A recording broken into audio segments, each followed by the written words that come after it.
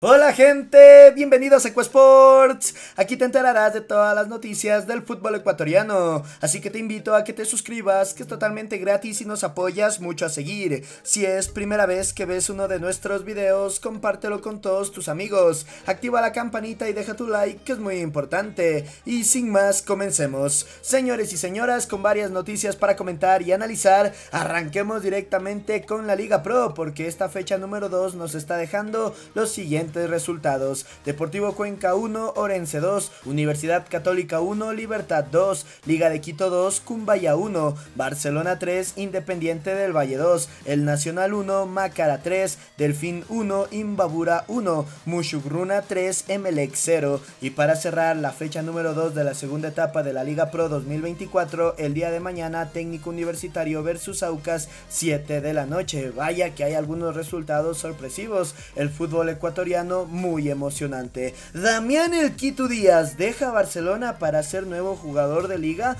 Bueno, le preguntaron a Isaac Álvarez, presidente de liga, si es que hay la posibilidad de que los salvos busquen a Damián Díaz. Y esto fue lo que dijo. El tema de Damián Díaz obviamente se ha puesto sobre la mesa. Es un jugador interesante, pero existe una comisión de fútbol. Si fuese por mí, lo fichaba ayer, pero hay que respetar la decisión de la comisión. Ellos son los encargados. Damián Díaz siempre fue un profesional. A veces el calor del fútbol te hace actuar de cierta manera. A veces veo a Díaz y veo cosas de Damián Manso. De mi parte no existe resentimiento alguno con el jugador, pero repito, tenemos comisión de fútbol. Fue lo que mencionó el presidente de liga, donde dice que si por él fuera, ayer mismo Díaz era jugador de los salvos, pero que sin embargo, al parecer, por lo que leemos entre líneas, la comisión de fútbol rechazó esta opción y Damián Díaz no jugará en liga. Por lo que yo tengo entendido, el Quito Díaz se va de Barcelona y tiene ofertas en el fútbol argentino.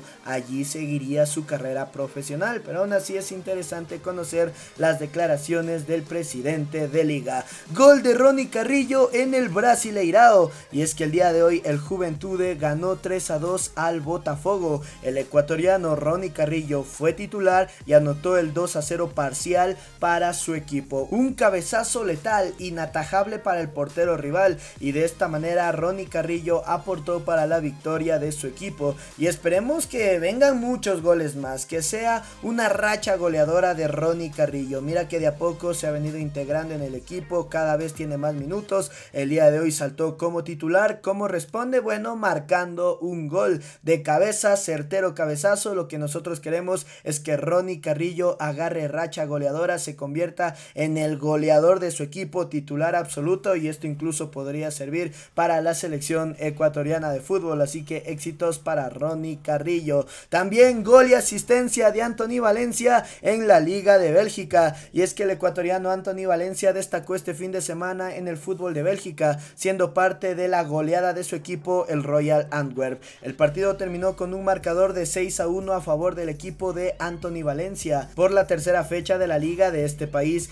Valencia fue suplente, pero ingresó en el minuto 62 y en ese poco tiempo marcó y luego dio una asistencia para cerrar la goleada. Su equipo se encuentra actualmente en la cuarta posición de la tabla con 6 unidades de 9 posibles. Bien por Anthony Valencia. Ojo, ya está recuperado. Ya hizo una pretemporada. Cuidado con lo que puede hacer Anthony Valencia con el Royal Antwerp en la Liga de Bélgica. Hay que darle muchísimo seguimiento antes de su lesión era jugador de selección ecuatoriana de fútbol. Pero ¿qué pasó? Se lesionó y se perdió muchísimo tiempo. Ahora ya con una pretemporada, ya 100% recuperado, ya listo, empieza a sumar minutos. Cada vez le dan más oportunidades. ¿Cómo responde él? Con un gol y con una asistencia. Pilas con lo que puede hacer Anthony Valencia con la camiseta del Royal Antwerp en la Liga de Bélgica, en el fútbol europeo. Minutos para Moisés Caicedo en el empate del Chelsea versus el Inter. El día de hoy el Chelsea y el Inter de Milán se enfrentaron en un partido amistoso.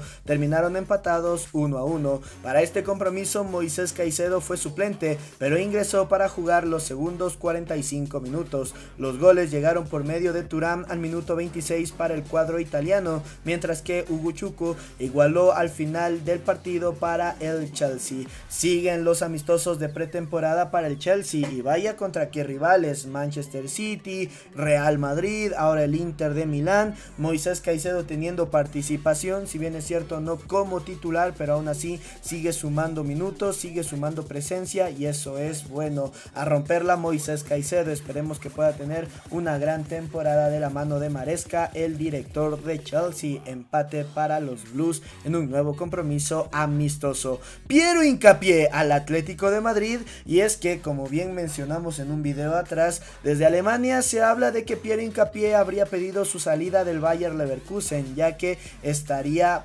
buscando un equipo donde le puedan dar una titularidad absoluta. Él quiere eso, también quiere dar el salto de calidad. El Bayer Leverkusen le ha dicho que bueno, pero que tienen que pagar lo que ellos están pidiendo. Ellos están encantados de aceptar la oferta, pero una buena oferta económica. Y aquí aparece el Atlético de Madrid. Desde España aseguran que el Atlético de Madrid está muy interesado en Piero Incapié y que sería una de sus prioridades para fichar en la defensa. Sin embargo, sin embargo, la oferta que tiene el Atlético de Madrid está lejos de lo que pide el Bayer Leverkusen y esto complicaría las negociaciones. Pero Piero Incapié está listo para recibir ofertas, le gustaría llegar a la Liga Española y a un proyecto interesante como el que ha armado el Atlético de Madrid para esta temporada, que fichó a Julián Álvarez, a Conor Gallagher, es decir, armó un gran mercado y si con esto cierra también a Piero Incapié, hay que tenerle ojo y cuidado